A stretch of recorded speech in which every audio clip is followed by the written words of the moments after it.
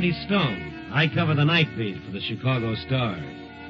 Stories start in many different ways. This one began on an elevated train and ended in eternity.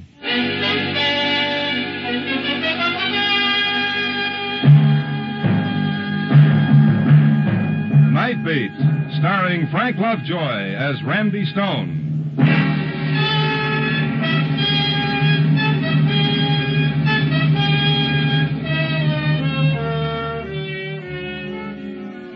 The night is just about washed up. The sky is getting that tattletale gray around the edges. Another hour or so, three million alarm clocks will start yakking against the eardrums of Chicago's dear hearts and gentle people.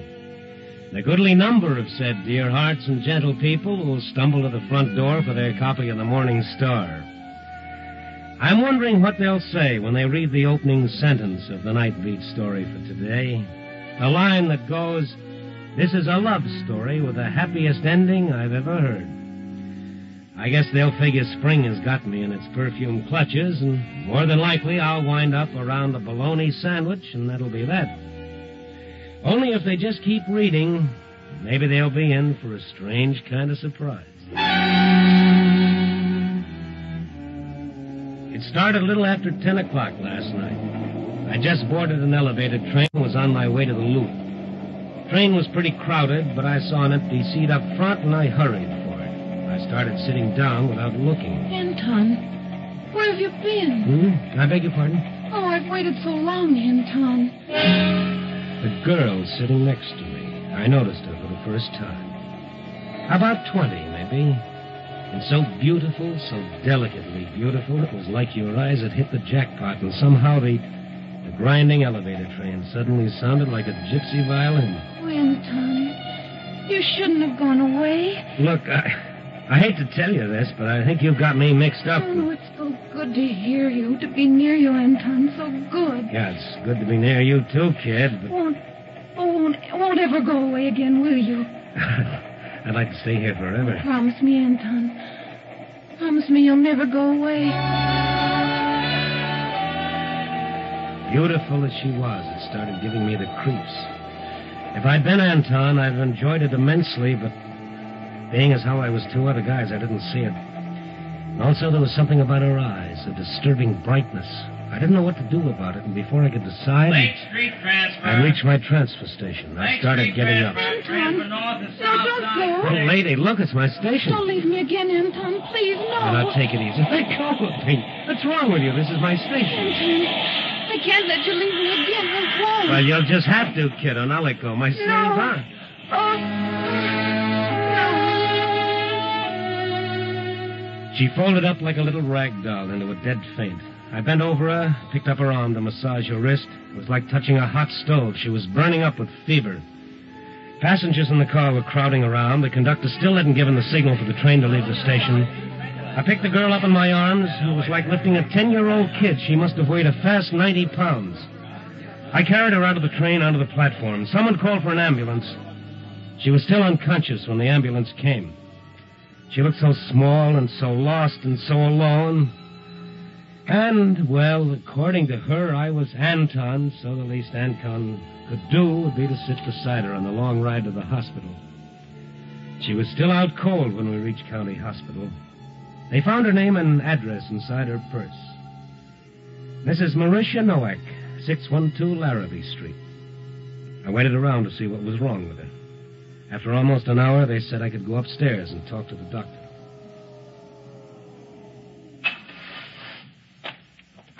Oh, Mr. Stone? Oh, yes. Doctor, I, I want to see about that girl I brought in, Marisha Nowak. Yes. Relative of yours? Oh, no, no. I just met her tonight. No. I'm afraid we've got to contact some relative right away. Nothing you can do for her, huh? Do for her. Poor kid's been sick for years and waits till she's dying before she comes to a hospital. Well, it takes money to go to a hospital, Doc. Not here. Why didn't she come here? What's wrong with these people? Are they proud or stupid? Three years ago, maybe we could have done something for her, but now. Well, yeah. I don't know, Mr. Stone. I don't know. It's, it's completely frustrating. You study medicine, what good does it do? Sometimes life doesn't seem to make any sense. Since when is it supposed to make sense? I sound like this is my first patient. Not very professional, I'm afraid. But don't worry about it. It's human. Now, this girl keeps talking about her husband, Anton. Well, she was talking that way when I met her. Yes, he's supposed to take her away someplace to Mexico, she says, where it's warm and she'll get well. What do they expect? Miracles? Oh, sure, miracles. Maybe Mexico was going to be her miracle. Do you have any idea how to contact her husband? But doesn't the girl know where he is? Doesn't seem to, even when she's not delirious. Got an address from her purse, a place over on Larrabee Street, north of Chicago Avenue. Oh, yes, I know that neighborhood. Furnished rooms with kitchen privileges. Bring your own mousetraps. Lovely. No phone listing. I was thinking of calling the police. Yeah. Trouble is, there's so little time. Well, how much time? I don't know. Could happen five minutes from now.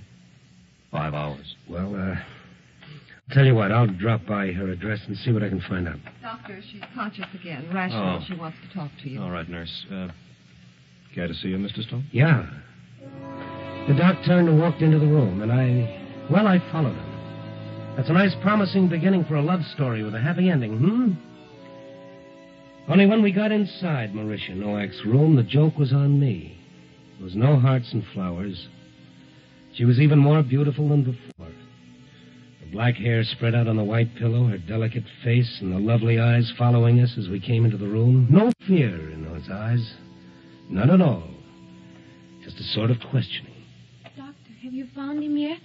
Not yet, Marisha. We're still trying. This is Mr. Stone. He's trying to help us locate your husband. Oh, I hope you find him. Poor Anton. He'll feel so bad if you don't find him in time. Of course he will. That's why the doctor'd like you to tell me anything you can that might help us find him. But I told the doctor. He went to find work, my Anton. So he could take me away where I could get well and could be a wife to him. Does it bother you to talk? Does it tire you? No. No, I like talking about him. And there's so little time Doctor said you were planning on going to Mexico. to Las Flores, little town of the flowers in Veracruz. My ring is from Mexico. See? Silver and turquoise. It's nice. We were married with two rings, exactly alike. Silver and turquoise. You think Anton could have gone there, to Mexico? No. No, he'd never have gone there without me. The little town of the flowers. Like we planned on our honeymoon. Just like it said in the travel folder. With thousands of blossoms on the water. Perfuming the air. But we went to a real hotel here in Chicago on our honeymoon. Anton insisted on it. Even though we couldn't afford it. It was in the winter and it was cold in Chicago like now. Icicles hung from the trees, breaking the branches. But in the room it was warm. And we had each other.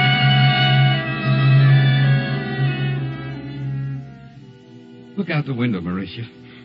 You know, I've, I've never seen the lake from up high. Isn't it beautiful? Oh, Anton. I'm so happy, Anton.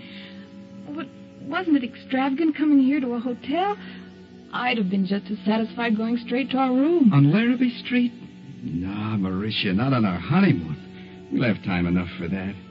How could you possibly imagine anything beautiful from a furnished room on Larrabee Street? Darling. But here, this is different. It's more than a hotel room in Chicago overlooking the lake. This is what we've dreamed of. Imagine it's Las Flores, Yes. the little town of the flowers. Look out there, Marisha. That isn't snow, it's thick tropical foliage.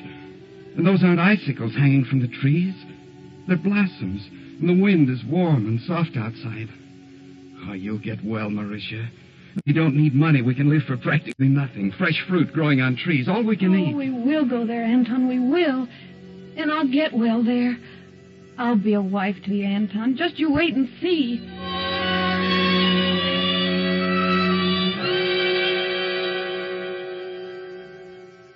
But we didn't go to Mexico. And then Anton went away. And you haven't heard from him since? No. But I don't blame him. Why should a man stay with a wife who's sick? Oh, no, no, no. You, you said yourself he went away to earn money for your trip. Yes. Yes, that's it. But now, if I could only see him once more, just once, to tell him not to feel badly, to be happy for what we had. If I could only tell him not to feel sorry. Because it was the same as if we really had been to Las Flores. Well, you better rest now. I'll. I'll try to find him.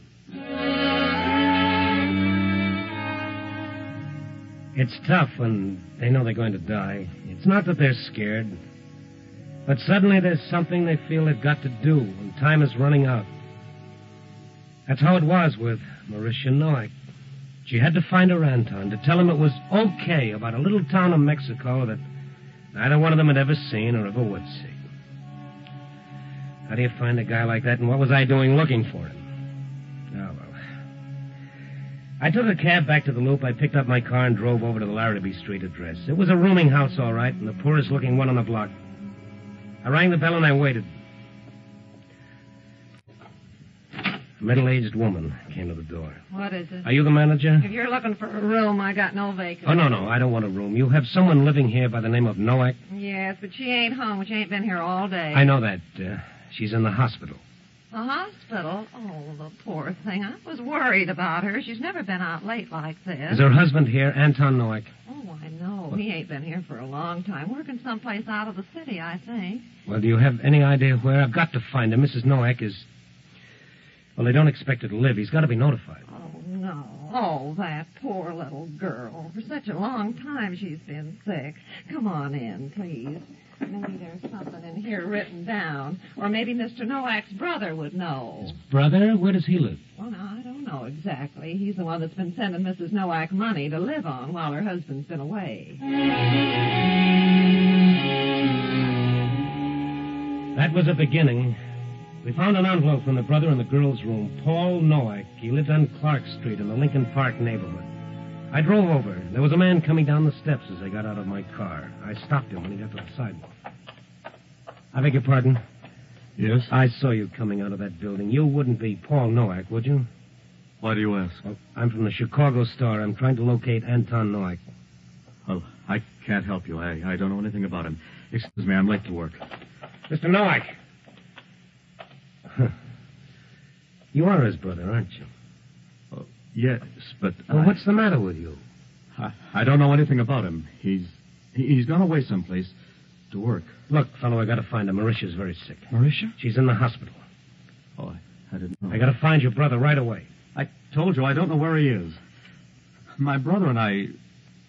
Well, we don't see each other. I haven't seen him since he left. But he's written to you. He must have. You've been sending money to his wife. All right. It's none of your business, but I'll tell you. I had one letter from him. He asked me to do what I could for Marisha until he could send for her. Where was the letter from? See where he was working? Someplace in uh, Montreal. He, he he didn't give any address. Uh, some uh, fur company like uh, Chicago Montreal Furs.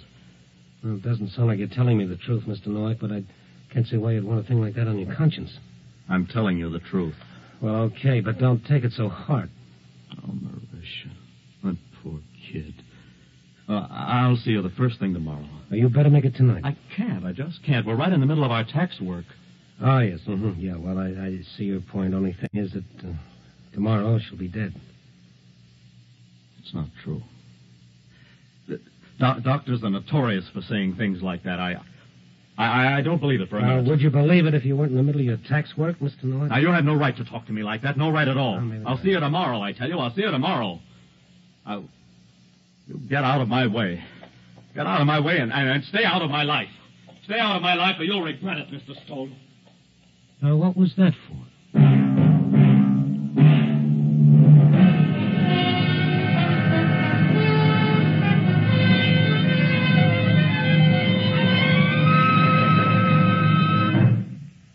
NBC is presenting Night Beat, starring Frank Lovejoy as Randy Stone.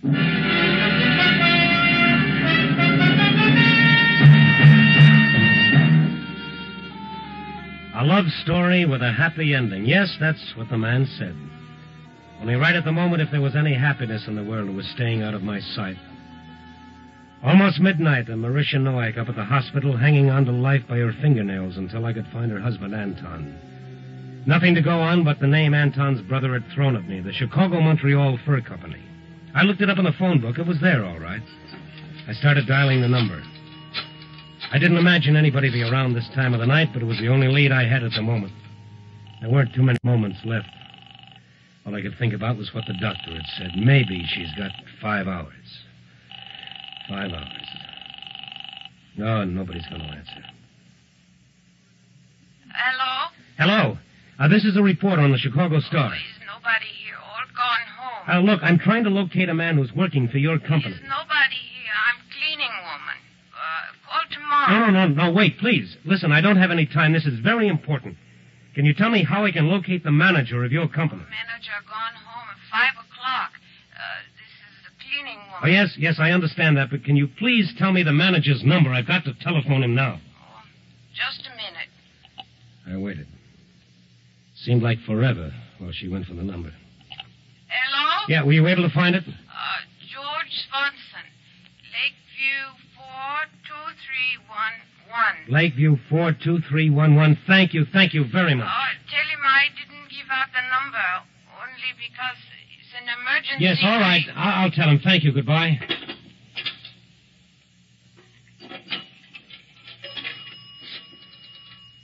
L.A. 42311.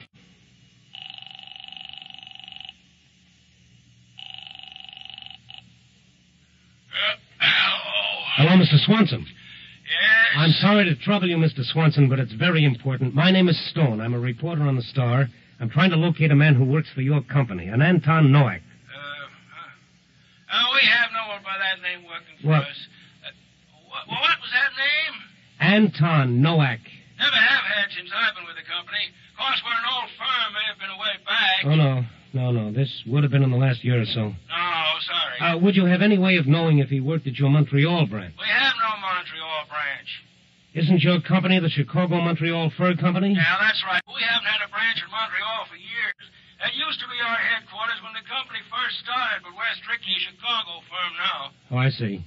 Well, thank you very much. I'm sorry to trouble you. No, not at all. Oh, uh, if it's going to be printed in the papers, don't forget to mention our name. No, no, I won't. Goodbye, Mr. Swanson.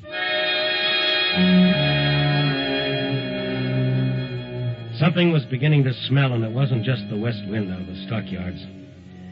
I checked the vital statistics on deaths. No Anton Nowak since 44. Checked the police records for amnesia cases.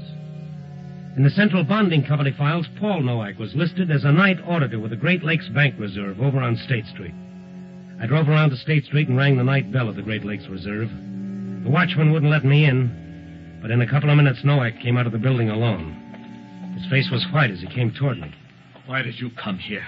Well, your brother doesn't work for the Chicago Montreal Fur Company. I thought you'd want to know. No, I don't want to know. I don't want to know anything about it. Your own brother? You had no right to come here. No right. Do you hear? This is my work. Well, sure, but I didn't think you'd mind. After all, you've got nothing to hide. Of course I have nothing to hide. They know me here. I'm, I'm respected. I have a position of trust. You, you have no right to come here and make trouble for me. It's taken me years to get where I am. All right, now, just take it easy. Nobody's interested in making trouble for you. But I am interested in finding Anton Nowak, and whether you like it or not, that's what I intend to do. Well, then find him. Find him, only stay away from me. Stay away from my work. I can't help you. I told you that. Now stay away from me. I didn't have time to twist his arm. As a last resort, I headed across town to police headquarters, Bureau of Missing Persons, of my old friend, Sergeant Adams. No, Randy, no. He's never been listed as a missing person. Somebody would have had to report him, his wife or a brother, you know, for us to have a record on him. Yes, yes, Adams, I know that, but the guy is missing. You say you checked the death records. That's right. How about hospital records? Well, there's nothing to go on, and not enough time, Adams. I tell you, I gotta find the fellow tonight, tomorrow, the latest. Yeah, yeah. Date of disappearance, May 10th, 1948. Did you check the arrest records for that date? Nothing under Nowak. Uh-huh. How about John Doe's? John Doe's? No, I never thought of that. Yeah, well, come on. It won't take much time. You never can tell. Um, just might be something. Usually you find something on these John Doe's after you had them a while. FBI prints, pictures, or else they just break down tell us who they are. Of course, if they're just John Doe drunks, just a matter of sobering them up. Right in here, Randy. Hi, Mac. Hello, Adams. Arrest records 48 May 10th. Okay. You better make it May 11th, too. Uh, you the guy that phoned earlier? Yes, I phoned. Nothing under those names you asked about. Yeah, Mac. Yeah, we want to have a look at the John Doe's.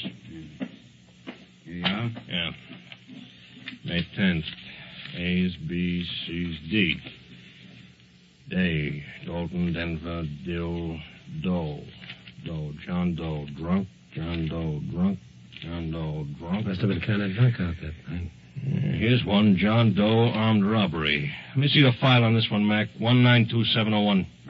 You think there'd be any information in the file? Well, you never can tell, Randy. Personal property slip sometimes has information you can use.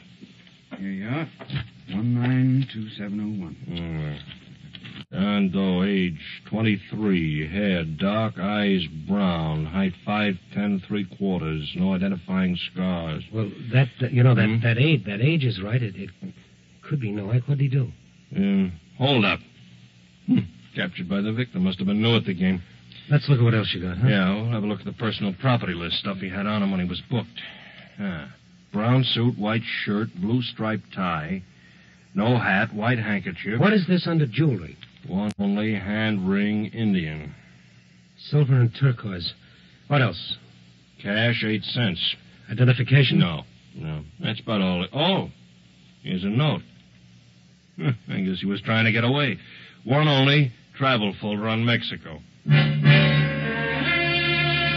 I'd found him. Anton Noack was John Doe, arrested for robbery May 10th, 1948, convicted and sentenced to Joliet for two to five years, still under the name of John Doe. It was beginning to fit together, sure. He didn't want her to know. That's why he hadn't written. That was the reason for the lie about the job in Montreal. He was afraid it would hurt her. And the prison record, that's why his brother wouldn't tell where he was. Afraid that somehow Anton's crime would reflect on his own bank job. I jumped into my car and headed out Ogden Avenue towards Joliet, over 30 miles away. It was the middle of the night. I had no idea what I could do when I got there. All I knew was I had to get there fast. Maybe he'd been released. Maybe I could talk the warden into letting him out with me under guard. Maybe I could put a call through to the hospital. He could at least talk to her on the phone. I didn't know. When I got to Joliet, the place was lit up like soldiers' field. The guard took me inside to the warden. He was dressed. He seemed to have been expecting me. Now, you're a little late, Stone. Doesn't anybody go to bed around here? And the rest of the boys have been and gone. Rest of what, boys? The other papers. You mean they got here ahead of me? Oh, why, of course. The break happened a couple of hours ago. A break? I thought there was something funny about all those lights and everybody being up at this time of the night. Isn't that why you're here? No, no, I came up to see a fellow. What happened? One of the men suddenly decided he wanted out. Grabbed a gun away from a guard and started blasting away. Had to shoot him to stop him. Not an organized break? No, he was alone. Can't understand it. Model prisoner. Coming up for parole in a month. And tonight he just blows up. Poor fellow. Uh, his name wouldn't be John Doe, would it? One of many. How did you know? Well, he might be the fellow I was coming up to see. Chicago number 192701. Yeah. So that's a shame. He's in a hospital cell down the hall. I see him. He's pretty bad off. I'd like to see him if you don't mind, Warden. Come on. Thank you. Funny about these John Does. Did you know him? No, no, I don't. I, I think I know his wife. Usually something pretty decent about them. Trying to protect their families mostly. Can't hardly blame him either. Oh, uh, Hello, Warden. uh, Doctor, this is Mr. Stone. One of the Chicago papers. All right if we go in and talk to him for a minute? Well, I'm afraid it won't make much difference, Warden. Go ahead, Stone. Thank you. Hello, fella. Hi. I don't want to bother you, but I I came up here tonight looking for a fellow named Anton Noack. My name's John Doe. Yeah, this uh, this Anton Noack, I never met him, but from what I hear, he's quite a guy. I wouldn't know. I had it from a girl named Marisha, his wife, I believe. She loved him quite a lot. By the way, that ring you were wearing, where'd you get that? I stole it. Really? Why would anyone steal a cheap little bit of silver and turquoise? I happen to like it. Uh huh. I saw one like that on a girl once. Uh, it was a wedding ring. The girl liked it too. This fellow Noack gave it to her, but then he got into some sort of a jam. He had to go away for a while. He didn't tell her anything about what happened. He was afraid it might have hurt her. Would have killed her. No. Would have made her unhappy, maybe, but she would have understood. She loved him an awful lot. She would have been glad he was squaring things up. She, uh, she loved him an awful lot. What do you want, mister? Well, like I said, I was just looking for a fella. Uh, just one question for the paper. I'm sorry I have to ask you, but how did you happen to pick tonight to break out? Why didn't you wait for your release? I don't know. Something made me. Something kept telling me she needed me. Doctor, quick. Marisha. Flowers on the water. How beautiful in the sunlight. He's gone. Instinctively, I looked down at my watch. 2.35 in the morning. A nice lonely time to make your curtain call. 2.35 a.m. Fine little night I've been having. I really felt low. I telephoned the story into the paper and went back to the hospital. I wasn't going to be much help to Marisha Noack, but I promised to come back.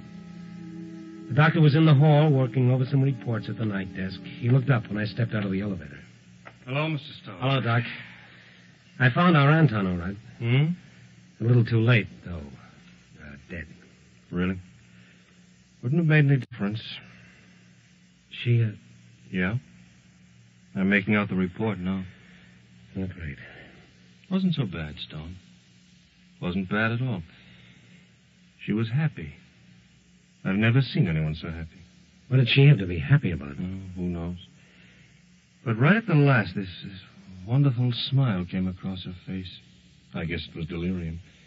She kept saying something like flowers on the water. How beautiful in the sunlight? Yeah, that's what she said. How, how, how did That report that you're making out, Doc. Tell me. What was the time of death? Hmm? Tell me, Doc, please. Oh, it's uh, 2.35 a.m. Why? 2.35 a.m. Yeah.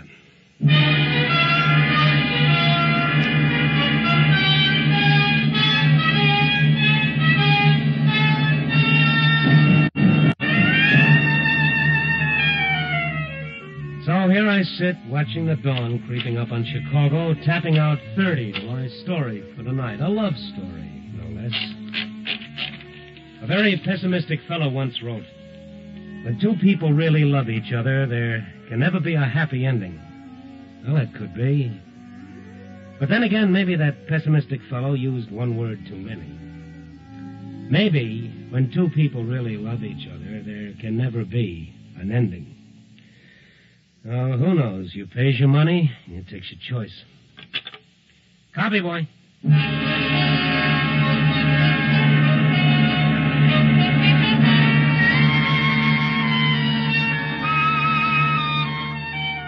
Night Beat, a new dramatic series, stars Frank Lovejoy as Randy Stone. Night Beat is edited by Larry Marcus and directed by Warren Lewis. Music is by Frank Worth.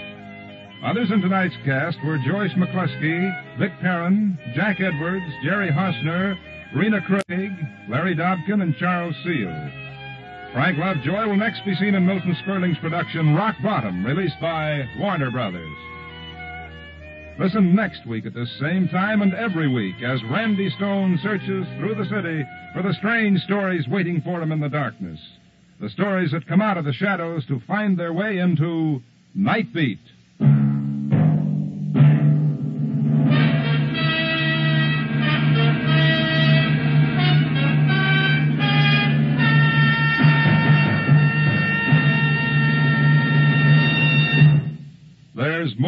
Great action packed entertainment for you throughout the week on NBC. Other mystery adventure programs include such popular shows as Dragnet, High Adventure, and Christopher London.